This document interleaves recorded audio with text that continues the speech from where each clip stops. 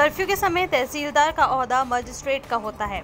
उस पर कानून और व्यवस्था की स्थिति बनाए रखने की ज़िम्मेदारी होती है। जान और माल की सुरक्षा के लिए उसे नियुक्त किया जाता है, परंतु यहाँ तो तहसीलदार की टीम दुकानों में चोरी कर रही है। एक दुकान में चोरी का वीडियो वायरल हुआ है। मामला मध्य प्रदेश के भिंड शहर के पुस्तक बाज़ार का है। यहाँ डिम्पल शिवहरे कोल्ड ड्रिंक और नमकीन सिगरेट की दुकान चलाते हैं। उन्होंने बताया कि 20 अप्रैल को वो अपनी दुकान में फ्रिज चालू करने के लिए गए थे। तभी तहसीलदार प्रमोद गर्ग अपनी टीम के साथ आ गए। दुकानदार का कहना है कि जिस समय तहसीलदार प्रमोद गर्ग आए, वो दुकान में नहीं था। शटर डाउन करके चला आया था। दुकानदार का कहना है कि तहसीलदार ने दुकान की शटर उठाई और साथी कर्मचारी के साथ अंदर आए।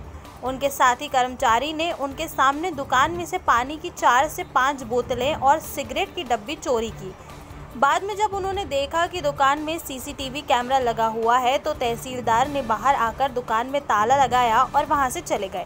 हालाँकि दुकान में चोरी का दावा दुकानदार का है। न्यूज़ लाइव एमपी वीडियो के आधार पर इसकी कोई पुष्टि नहीं करता।